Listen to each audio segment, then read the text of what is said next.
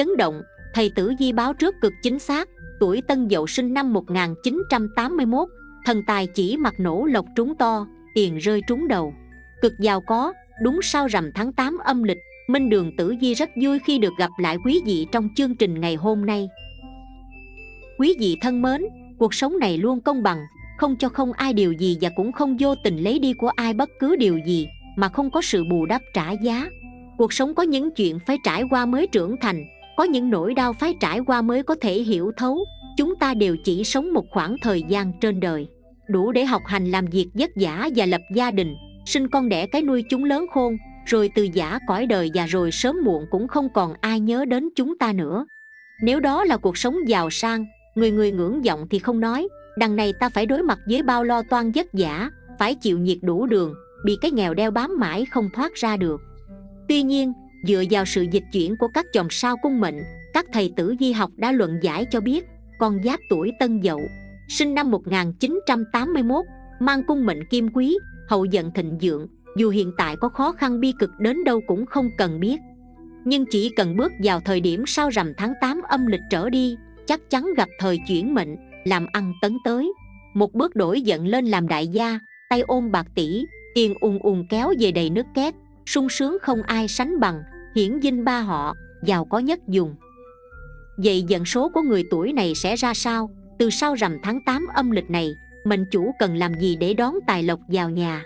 Ngay bây giờ xin mời quý vị cùng tìm hiểu nội dung chi tiết của video ngày hôm nay. Đầu tiên, xét về tính cách cuộc đời vận mệnh, tuổi tân dậu. Xem tử di học phương đông cho thấy, tân dậu là người có trách nhiệm tính tổ chức và tinh thần kỷ luật cao, họ rất chuyên cần làm việc hiệu quả có khả năng hoàn thành nhiều nhiệm vụ. Con giáp này sẽ nhận trách nhiệm mà không trông chờ được đền đáp, động cơ thúc giục họ chính là sự thành công. Luôn đề ra tiêu chuẩn cao cho bản thân và mong đợi người khác làm theo gia chạm có thể xảy ra với đồng nghiệp. Khi các điều kiện này không được đảm bảo, con giáp này nên học cách không đòi hỏi quá cao ở người khác và không nghiêm trọng quá vấn đề tuổi tân dậu ổn định và có tính thực tế, thường điềm tĩnh và chín chắn, họ khá dè dặt và thận trọng khi đưa ra đã quyết định, không uyên bác như những người tuổi dậu còn lại. Họ nổi trội bởi trí thông minh mang tính thực tế, kết quả của những quan sát bền bỉ và sự ngấm dần những bài học mà cuộc đời đã dạy.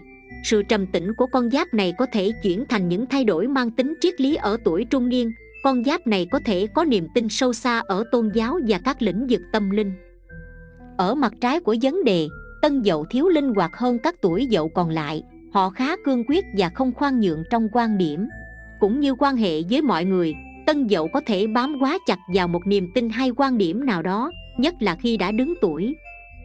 Tân dậu có nhu cầu hết sức lớn về an toàn vật chất và tình cảm, cũng giống như những chú gà chẳng muốn rời xa trang trại. Những người tuổi này nhất là khi sống giữa môi trường quen thuộc đã lâu, hoặc không muốn có những trải nghiệm kỳ lạ. Tuổi tân dậu sinh năm 1981 tính khí khá tùy duyên, thuận tiện mà hành xử, làm việc họ cơ trí linh hoạt, tháo giác có nhiều kế hoạch và sẵn sàng thay đổi theo chiều hướng mang lợi ích đa chiều nhất. Cá tính tùy duyên, tùy thời, khi bãi bể, lúc nương dâu khiến họ sẽ bị dao động tâm tư, lập trường và nguyên tắc.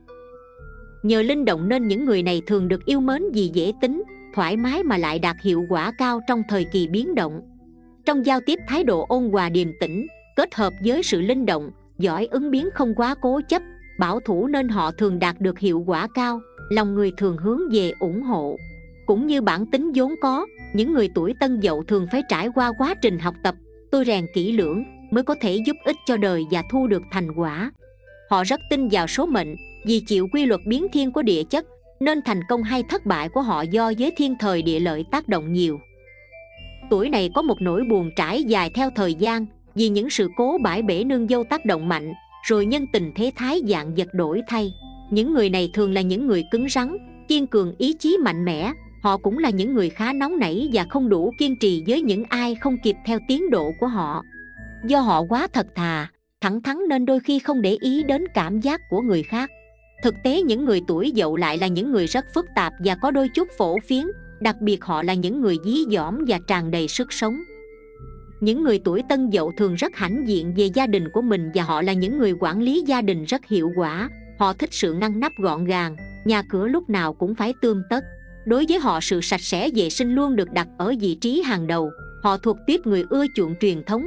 Những người này thường thích trang trí đồ gỗ nội thất trong nhà.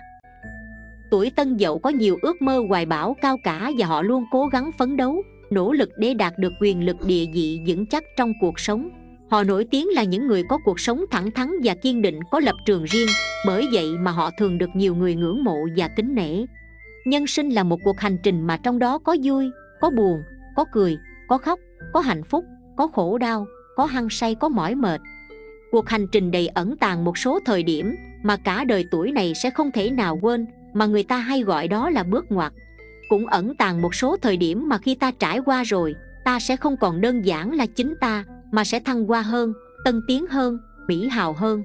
Cỗ máy của đất trời vận hành không có cảm xúc hay thân tình, mà chỉ tuân theo sự phải trái đúng sai, đúng thì được hưởng, mà sai thì bị phạt. Đấy là căn bản nhất của luật nhân quả bao trùm lên dạng vật thế gian. Mọi sự may mắn thuận lợi mà ta có, đến từ những hạt giống thiện lành mà ta gieo. Mọi sự trắc trở hòa hại mà ta chịu, cũng xuất phát từ những tiêu cực mà ta gửi gắm vào cõi đời này bao nhiêu năm tân dậu sống luôn lựa chọn và làm theo việc tuân theo những cảm xúc chân phương nhất của bản thân, luôn lựa chọn sống đúng, sống thiện, làm theo cảm xúc đi theo chân thành. Bao năm ngược xuôi, bao lần vì người ngoài mà chịu đựng nhọc nhằn, nhưng chưa bao giờ khiến cho lựa chọn sẽ tham hơn, sân hơn, hay si hơn. Vì hết mình và sống đúng với cảm xúc thật của mình, mới là thứ tân dậu thỏa mãn trong một kiếp làm người. Sự có thể thành, sự có thể bại, người có thể tốt cũng có thể tráo trở quay lưng nhưng dẫu có thế nào tân dậu này cũng đã hết mình, hết lòng, hết thần, hết ý. Dẫu có thế nào, kết quả có ra sao cũng không hối hận, vì đã làm đúng, làm thiện. Nhân sinh là một cuộc hành trình mà ở trong đó vui có, buồn có có cười, có khóc, có hạnh phúc, có khổ đau. Cuộc hành trình ấy ẩn tàng một số thời điểm mà cả đời này có lẽ bạn sẽ không thể nào quên.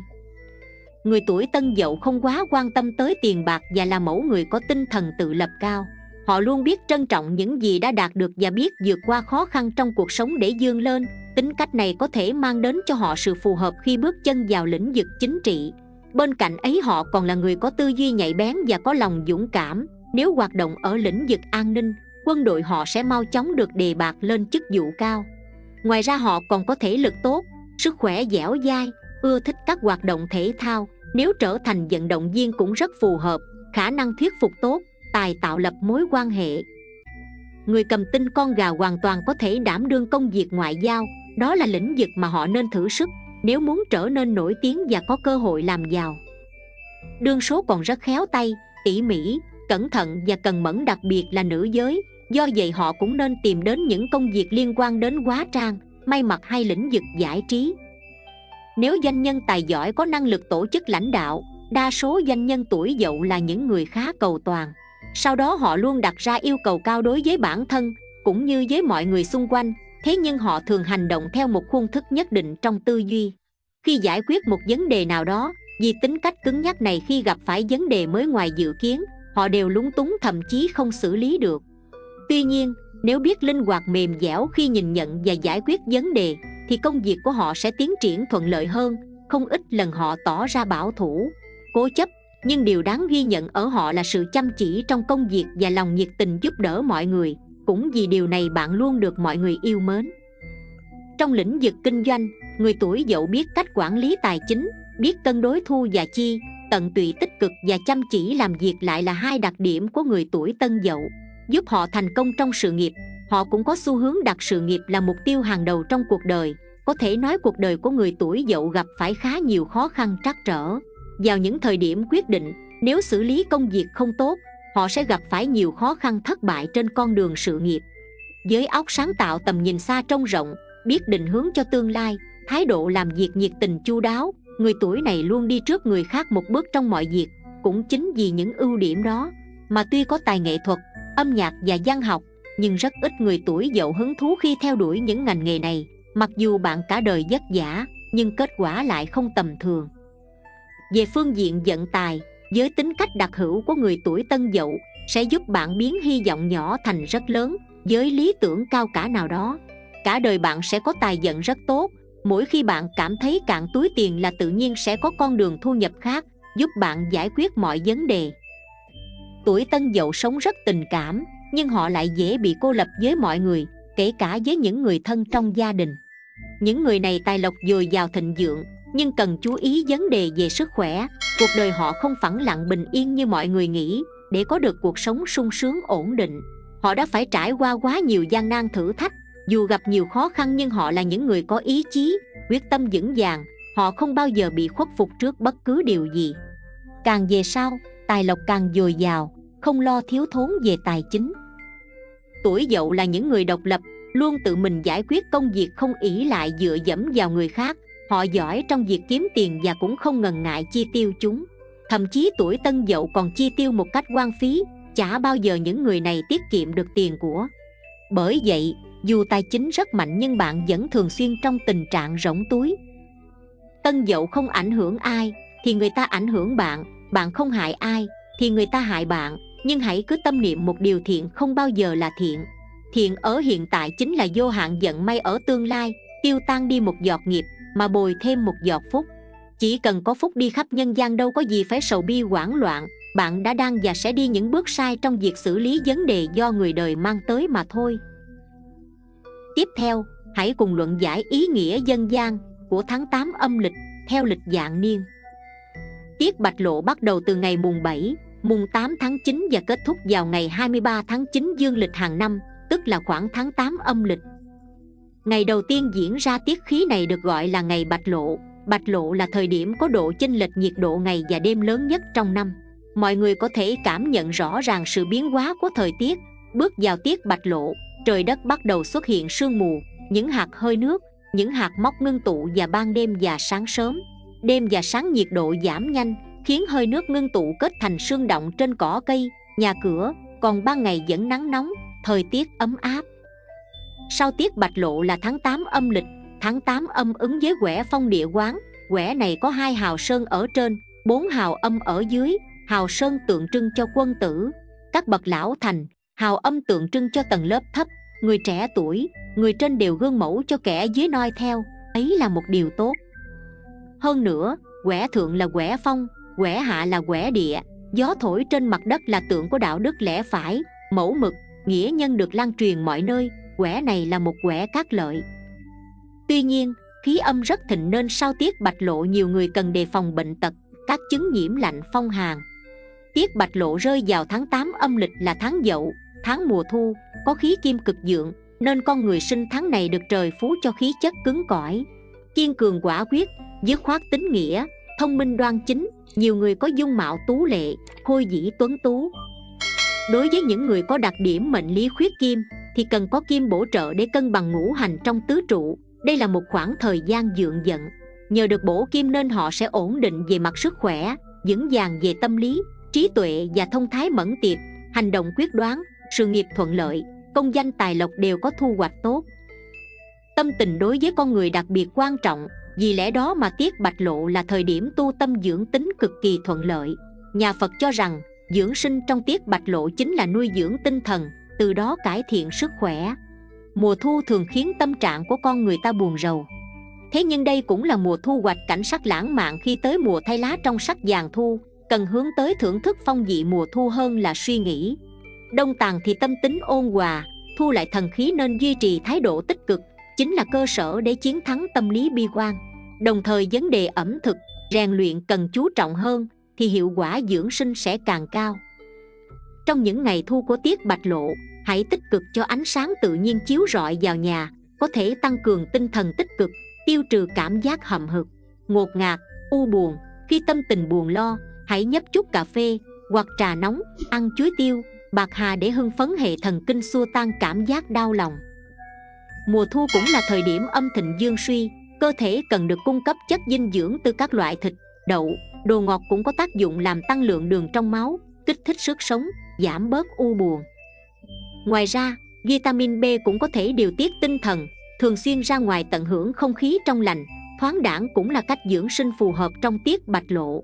Các hoạt động như tản bộ, chạy bộ, chơi thể thao, tập thể dục không chỉ tăng cường sức khỏe, giúp tinh thần phấn chấn sung mãn, giải phóng năng lượng, thả lỏng tâm tình, nghe các bản nhạc thiền hoặc nhạc du dương có tác dụng an tâm tinh thần hung đúc tình cảm tích cực trong con người. Ở thời điểm buồn bực hãy thả lỏng nghe một khúc nhạc tự nhiên bao nhiêu tiêu cực sẽ tan biến hết, tâm hồn lắng lại bình an hơn. Đây cũng là một cách dưỡng sinh trong tiết bạch lộ rất tốt. Dựa theo góc độ dưỡng sinh trong tiết bạch lộ, mà tiết bạch lộ táo khí sẽ dần dần thịnh lên. Táo sẽ tổn thương phổi, mà lúc này nên ăn nhiều thức ăn tư âm nhuận phế như lê, nhãn, hoa bách hợp, mía ngọt, khoai sọ, củ cải trắng, nấm tuyết ngoài ra vào tiết bạch lộ cũng thích hợp ăn cháo nấu cháo hay gạo nếp với các nguyên liệu có thể kiện tỳ dị bổ trung khí phòng thu táo các món như hạt sen hầm với hoa bách hợp súp nấm tuyết cầu kỳ hạt sen táo tàu cháo củ ấu với nhân ý dĩ rất thích hợp Dậy tử di tuổi tân dậu từ sau rằm tháng 8 âm lịch sẽ biến động như thế nào, vận trình thay đổi ra sao? Mời quý cô bác cùng Minh Đường Tử Di luận giải ngay sau đây. Đầu tiên, xét theo phương diện sự nghiệp, tuổi tân dậu sau rằm tháng 8 âm lịch, năm giáp thìn. Từ sau rằm tháng 8 âm lịch dự báo là tháng bận rộn, nhiều nhiệm vụ cần phải hoàn thành, mỗi ngày làm việc đều khá bận rộn với nhiều trách nhiệm, khi bạn có vô số khối lượng công việc cần phải làm cả gia đình lẫn công sở bạn sẽ rất đau đầu với những dự án mới đòi hỏi sự sáng tạo không ngừng song chưa hẳn đã là một dự án có giá trị cốt lõi tuy nhiên hãy dành việc xem xét đánh giá cho thời gian tới, còn lúc này hãy cho mình trải nghiệm thì hơn. Đừng để căng thẳng khiến bạn không đạt được sự hiệu quả, vì khi đó dù bạn nỗ lực xử lý thì mọi thứ vẫn rắc rối, bạn phải tìm cách để bản thân tập trung hơn. Vì trong khi mọi người bước vào tháng mới bận rộn hối hả, thì dường như đầu óc của bạn giống như trên 9 tầng mây. Sự nghiệp của bạn có dấu hiệu chững lại rõ ràng sau rằm tháng 8 âm lịch này. Nguyên nhân chủ yếu là do bạn bị kẻ tiểu nhân quấy phá mọi người xung quanh cũng không ủng hộ, cổ vũ cách làm của bạn. Từ hình cho thấy dù bạn có lòng tốt, sẵn sàng giúp đỡ người khác, nhưng chưa chắc đã nhận được sự biết ơn của mọi người. Hãy xem lại cách giúp đỡ của mình. Xem mình hành xử như vậy đã đúng hay chưa? Đừng tạo cho người khác cảm giác bạn đang ban ơn. Khi người khác mắc phải lỗi sai, hoặc vô tình làm gì khiến bạn không hài lòng, cũng nên chớ chỉ trích đối phương quá nặng nề. Hãy có cách nói năng và hành sự uyển chuyển hơn để không làm tổn thương tới ai, đắc tội với kẻ tiểu nhân lúc nào không biết. Một số người không nên quá kiêu ngạo, với những thành tích mà mình gặt hái được trước kia, với sự kiêu ngạo sẽ khiến bạn lơ là. Không phát hiện ra những sai sót biểu hiện và dễ mắc những lỗi sai không đáng có, bạn vẫn bị nhiễm cảm xúc của mình gây ra sự nhiễu loạn, khiến bạn khó có thể tập trung được với công việc. Có lẽ bạn sẽ cần một chút thời gian trước khi có thể quay trở lại với guồng quay quen thuộc hơn nữa, ở nơi công sở, bạn chớ nên bàn tán chuyện của người khác, vì con giáp thị phi như bạn sẽ bị mọi người xa lánh, trở thành người không đáng tin cậy trong mắt đồng nghiệp. Xét trên phương diện tài lộc, tháng sau rằm 8 âm lịch của tuổi tân dậu. Theo tử di sau rằm tháng 8 âm lịch, tình hình tài chính có dấu hiệu khởi sắc, nhiều người được đánh giá tăng nguồn thu. Việc kinh doanh nhờ có hậu thuẫn mà vẫn phát triển bất chấp khó khăn thế nhưng đừng vì những gì đang diễn ra mà tự phụ. Không được chủ quan, luôn phải cẩn trọng với những lời mời chào đầu tư trong thời gian này. Khi thị trường đang đi xuống, nếu bạn dành thời gian học hỏi thêm, thì bạn sẽ biết rằng thời gian này ai cũng ưu tiên việc đảm bảo an toàn số tiền mình đang có hơn là đầu tư. Nói như thế không có nghĩa là không có cơ hội cho bạn, miễn là bạn phải tìm hiểu kỹ và chịu trách nhiệm với các quyết định của mình. Nhìn chung tháng trung thu này bản mệnh không gặp rắc rối nào có liên quan tới tiền bạc, miễn là bạn kiểm soát tình hình trong khả năng của mình, đi theo kế hoạch đã định. Thì một chút thị phi phát sinh cũng không phải là điều gì đáng ngại, nếu mắc phải sai lầm, bạn cũng nên dũng cảm thừa nhận, chứ đừng tìm cách đổ lỗi cho hoàn cảnh và mọi người xung quanh.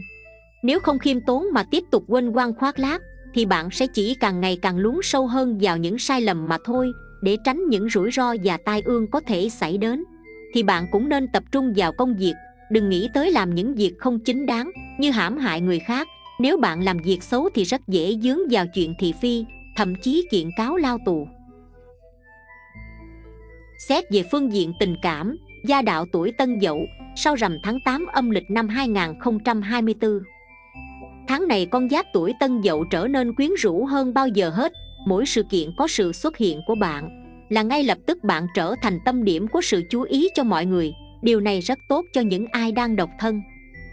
Tuy nhiên với ai đã có gia đình, Thì nên cẩn thận với những lời tán tỉnh. Bên cạnh đó có những người gì ghen tị Mà cố tình gây hại. Làm điều xấu bằng cách đặt điều về bạn. Đối mặt với những thông tin ấy, bạn phải bình tĩnh nói rõ trớ nên nhân nhượng với kẻ xấu. Tam hội nâng đỡ nên tình cảm gia đình của con giáp tuổi dậu lúc này khá tốt đẹp họ còn là chỗ dựa tinh thần tuyệt vời cho bạn lời khuyên có giá trị khi bạn gặp rắc rối trong chuyện tình cảm. Những ngày cuối tháng sẽ diễn ra hết sức trôi chảy. Nếu bạn sắc sảo, nhạy bén trong định hướng và chọn lựa, bất cứ vấn đề nào nảy sinh cũng đều có thể giải quyết được.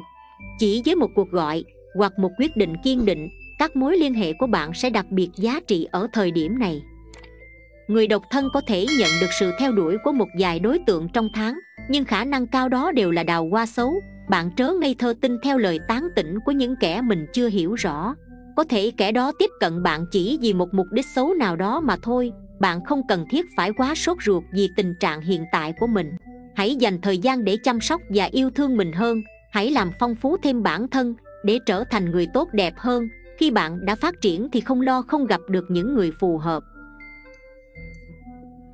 cuối cùng là phương diện sức khỏe, tuổi tân dậu, sau rằm tháng 8 âm lịch năm 2024 theo tử vi, sau rằm tháng 8 năm giáp thìn, thái tuế hung tinh xuất hiện là dấu hiệu cảnh báo người tuổi dậu cần phải cẩn thận khi lao động chân tay, hoặc có việc xuất hành đi xa. Tốt nhất bạn không nên cố gắng làm việc, hoặc điều khiển phương tiện giao thông khi đang mệt mỏi, để tránh những sự cố đáng tiếc. Công việc không như ý khiến bạn luôn ở trong trạng thái căng thẳng tuy nhiên đừng vì thế mà suy nghĩ quá tiêu cực.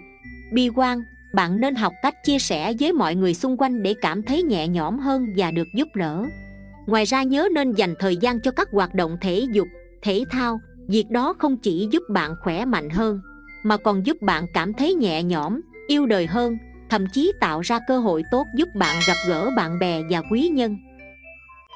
Quý vị thân mến, mỗi tuần trong tháng lại có những biến động khác nhau vậy nên ngay sau đây Minh Đường Tử Di sẽ đi vào phần luận giải hai tuần cuối trong tháng 8 âm lịch để mệnh chủ tuổi Tân Dậu có những bước phát triển kế hoạch cho mình. Tử Di tuần 3, tháng 8 âm lịch, tuổi Tân Dậu, sinh năm 1981. Đây được dự báo không phải là một tuần may mắn đối với người tuổi Tân Dậu do chịu tác động của hung tinh thiên cẩu. Bản mệnh gặp rắc rối trong công việc do những đấu đá cạnh tranh âm ỉ trong môi trường làm việc bạn nên thận trọng trong các mối quan hệ. Không phải ai cũng tốt đẹp như những gì họ thể hiện ra bên ngoài, nhất là khi liên quan tới lợi ích cá nhân. Thời điểm này, bạn nên làm việc một cách chăm chỉ và nghiêm túc, để tránh những rắc rối không đáng có và cũng không tạo cơ hội cho kẻ tiểu nhân có cớ đâm chọc, buông lời dèm pha làm giảm uy tín của bạn. Bản mệnh nên cố gắng tập trung hơn, nỗ lực nhiều hơn để giành được những gì mình muốn đây còn được coi là một tuần với nhiều tổn thất cho con giáp này. Trên phương diện tài chính, không những sự nghiệp không được suôn sẻ, mà bạn còn thường xuyên phải đối mặt với những mất mát về tiền của con giáp này nên thận trọng trước khi ký kết hợp đồng hoặc đầu tư, kinh doanh vào một lĩnh vực mới. Phương diện tình cảm không được tốt cho lắm, đây cũng là điều khiến bản mệnh trăn trở trong thời gian này. Bạn mãi mê với công việc mà dần lơ là với mối quan hệ của mình nhưng thực tế là bạn chưa tìm được cách để cân bằng giữa công việc và tình cảm. Cuối cùng là tử vi tuần 4 trong tháng 8 âm lịch, tuổi Tân Dậu, sinh năm 1981 Thiên đức hỗ trợ người tuổi Tân Dậu có khởi sắc rõ rệt từ giữa tuần trở đi, Đầu tuần không có biến động nào lớn, Con giáp này tìm được cơ hội để phát triển bản thân, Trở nên nổi bật hơn so với đối thủ Hay những đồng nghiệp có năng lực tương đương đây là tín hiệu tích cực cho kế hoạch thăng tiến mà bạn đã đặt ra cho chính mình. Với những biểu hiện xuất sắc, con giáp này nhận được sự ủng hộ hết mình từ người thân, đồng nghiệp hay cấp trên, nên phát huy được khả năng của chính mình. Khoảng cách chạm tới mục tiêu đã đề ra, của bản mệnh không còn quá xa, bên cạnh ấy bạn cũng nên nhắc nhở bản mệnh phải luôn khiêm tốn, để không gây thù chuốc oán với ai. Việc làm ăn buôn bán trong thời gian này cũng khá thuận lợi, kinh doanh gặp thời nên hàng hóa bán chạy lợi nhuận thu về không ít. Doanh thu tăng đều đặn, các hợp đồng được ký kết đúng theo kế hoạch một cách suôn sẻ, bạn có thể ăn mừng khi mọi việc đang phát triển rất tốt. Quý vị thân mến, vừa rồi là những chia sẻ của Minh Đường Tử Hy từ nay tới rằm tháng 8 âm. Của quý anh chị tuổi Tân Dậu sinh năm 1981 và bây giờ sẽ là một được nhiều anh chị đang chờ đợi từ đầu chương trình tới giờ. Đó chính là quá giải giận hạn. Đầu tiên là đối với nam mạng tuổi Tân Dậu sinh năm 1981 Theo sao chiếu mệnh, sao thái âm. Thái âm là các tinh, phúc tinh, mang tới sự hài hòa, tốt lành về cả công danh và nhân duyên, tốt cho nữ hơn nam. Năm có sao này chiếu, nam mạng Tân Dậu dễ công thành danh toại, gặt hái không ít thành công lớn trong đời. Ngoài ra, sau này còn mang tới lộc về kinh doanh, buôn bán, nhất là bất động sản theo niên hạn hạn diêm dương. Gặp hạn diêm dương cần thận trọng chuyện làm ăn kẻo dướng vào kiện tụng pháp luật, cãi giả, tranh chấp, giúp người làm ơn mắc oán, cần hết sức lưu ý vấn đề đi lại, tham gia giao thông, đề phòng tai nạn bất ngờ. Trong năm có thể có tinh tăng tóc trong nhà. Theo vận niên, theo tử di tuổi dậu 2024 tiến vào năm con rồng, tuổi tân dậu nam mạng gặp vận niên mã bị đau tức ngựa chiến bị thương. Hình ảnh này mang ý nghĩa về sự xông pha, làm bao công chuyện cho người này kẻ nọ để bản thân bị thua thiệt. Nhưng nếu ta thận trọng hơn, suy tính kỹ càng thì sẽ chẳng hề hấn gì, ngược lại còn được ghi nhận và đánh giá cao. Riêng về phương diện tình cảm, mọi thứ đi vào nguồn ổn định, các cặp vợ chồng hỗ trợ tốt cho nhau, bản mệnh yên tâm phấn đấu cho sự nghiệp. Nếu còn độc thân cũng dễ gặp được người ưng ý nhưng có đi tới hôn nhân hay không khó xác định. Cách quá giải vận hạn. Kích hoạt các tính của sao thái âm bằng phong thủy. Đồ phong thủy nên sử dụng các đồ dùng hoặc vật phẩm phong thủy bằng vàng, bạc hoặc trang sức có màu đen, xanh biển, ánh kim hoặc trắng như, thạch anh trắng, thạch anh đen, đá mặt trăng, topaz xanh dương. Đồng thời hạn chế sử dụng các đồ trang sức hoặc vật phẩm màu xanh lá cây hoặc vàng, nâu. Nên tiến hành đầu tư kinh doanh hoặc buôn bán bất động sản, trong năm được sao thái âm chiếu mệnh, bạn gặp được nhiều vận may về tài lộc. Vì thế nên tranh thủ tiến hành những kế hoạch lớn, ắt sẽ thuận buồm xuôi gió, nhận được sự giúp đỡ của nhiều người. Tu thân tích đức, hãy luôn đối xử với mọi người xung quanh một cách chân thành, không dụ lợi, bởi bản mệnh tốt bụng. Không ngại ngần giúp đỡ người khác thì cũng sẽ nhận được sự yêu mến của mọi người xung quanh, dù gặp khó khăn cũng không lo không vượt qua được.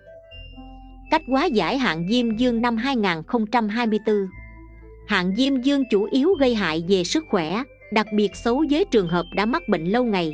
Để quá giải giận xấu, gia chủ nên Với người đau ốm, bệnh tật Chủ động nhận biết mức độ căn bệnh của mình thế nào để thăm khám điều trị kịp thời Cần chủ động khám và điều trị đúng khoa học Tránh nghe lời người khác uống thuốc dân gian. Điều này ảnh hưởng rất lớn đến bệnh tình Không may nguy hiểm tính mạng với người khỏe mạnh, cần có chế độ ăn uống, nghỉ ngơi và luyện tập thể thao hợp lý. Như vậy, cơ thể mới được duy trì ở trạng thái ổn định, đề phòng bệnh tật mỗi khi trái gió trở trời. Về tâm linh, để tích thêm phúc đức cho bản thân, đương số nên làm nhiều việc thiện, sống phúc hậu, cho đi mà không cần nhận lại. Đối với nữ mạng tuổi tân dậu sinh năm 1981 theo sao chiếu mệnh, sao thái bạch Thái Bạch là hung tinh gây hao tán tiền của rất mạnh. Dân gian có câu Thái Bạch quét sạch cửa nhà Công việc kinh doanh có tiểu nhân quấy phá Mất tiền mất của Có thể trắng tay Đề phòng quan sự. Xấu nhất là tháng 2, năm, 8 âm lịch và kỵ màu trắng quanh năm. Theo niên hạn, hạng thiên la. Gặp hạng thiên la dễ bị phá phách không yên trong công việc và cả hạnh phúc gia đình. Đương số dễ đau ốm không khỏi, hao tốn tiền bạc theo giận niên Theo tử di tuổi dậu 2024 Sang năm giáp thìn, Tuổi tân dậu nữ mạng gặp giận niên mã bị đau, Tức ngựa chiến bị thương. Hình ảnh này mang ý nghĩa về sự xông pha, Làm bao công chuyện cho người này kẻ nọ để bản thân bị thua thiệt. Nhưng nếu ta thận trọng hơn, Suy tính kỹ càng thì sẽ chẳng hề hấn gì, Ngược lại còn được ghi nhận và đánh giá cao. Riêng về phương diện tình cảm, Mọi thứ đi vào nguồn ổn định các cặp vợ chồng hỗ trợ tốt cho nhau, bản mệnh yên tâm phấn đấu cho sự nghiệp. Nếu còn độc thân cũng dễ gặp được người ưng ý, nhưng có đi tới hôn nhân hay không khó xác định. Cách quá giải vận hạn. Quá giải sao thái bạch bằng phong thủy. Hạn chế dùng đồ trắng, vì sao thái bạch thuộc hành kim nên trong năm đương số tránh mặt hay dùng những đồ màu trắng là tốt nhất? Màu sắc nên thường xuyên sử dụng hoặc tiếp xúc gồm đen hoặc xanh dương.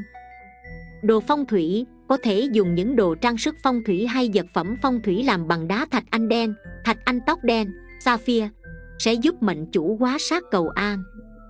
Việc dùng người, dùng người nên thận trọng Chớ tin người thái quá kẻo bị lợi dụng hoặc lừa gạt khiến tiền mất tật mang. Tích cực làm việc thiện Có quan niệm cho rằng nếu không muốn bị quét sạch của nhà Mệnh chủ nên lấy tiền của đi quyên góp giúp đỡ người nghèo khổ Làm việc tốt, thường xuyên phóng sinh Dần già tai ương sẽ tan biến. Cách quá giải hạn thiên la năm 2024 Về sức khỏe, khi gặp hạn này thì sức khỏe giảm sút nhiều Thường xuyên bị mệt mỏi và đau nhức không rõ nguồn cơn. Những căn bệnh kỳ quái dù tiêu hao tiền của chữa trị những vẫn không khỏi. Bởi vậy cách tốt nhất là dành nhiều thời gian nghỉ ngơi Lập chế độ ăn uống và tập luyện thể thao hợp lý. Về mặt tình cảm, cẩn thận trong từng hành động và lời nói. Tránh dướng vào thị phi tai tiếng trong các mối quan hệ xã giao. Về tình cảm vợ chồng, hãy dành nhiều thời gian ở cạnh nhau, quan tâm và chăm sóc nhau, thấu hiểu và chia sẻ niềm vui nỗi buồn trong cuộc sống. Đừng ghen tuông vô cớ, lời qua tiếng lại không may chuyện nhỏ xé ra to. Về mặt tâm lý, gia chủ cần bình tâm và suy nghĩ kỹ càng về mọi việc trong cuộc sống. Không nên tự lo âu phiền muộn, thay vào đó hãy tìm người tâm sự chia sẻ niềm vui nỗi buồn trong cuộc sống. Không nên chất đựng quá nhiều ấm ức trong lòng. Điều này khiến tâm trạng ngày càng trầm trọng dẫn đến các các bệnh kỳ quái như trầm cảm. Dân quý vị thân mến trên đây là những chia sẻ rất tâm huyết đến từ ban biên tập chương trình về tử vi sau rằm tháng 8 âm lịch năm Giáp Thìn 2024 của tuổi Tân Dậu, sinh năm 1981. Minh Đường Tử Vi rất mong rằng quý vị sẽ có một tháng nhiều may mắn, gặt hái nhiều thành công và làm giàu cho bản thân mình, cho xã hội. Minh Đường Tử Di vô cùng cảm ơn quý vị đã quan tâm và theo dõi chi tiết hết video. Mọi ý kiến đóng góp và thông tin cần được tư vấn hỗ trợ, vui lòng comment ở bên dưới và bình luận. Ban biên tập chương trình sẽ tư vấn và giải đáp miễn phí trong thời gian sớm nhất. Mến chúc quý vị luôn mạnh khỏe, hạnh phúc, giàu có và thành công hơn nữa trong cuộc sống của mình. Chương trình đến đây là hết. Xin chào và hẹn gặp lại trong những chương trình lần sau.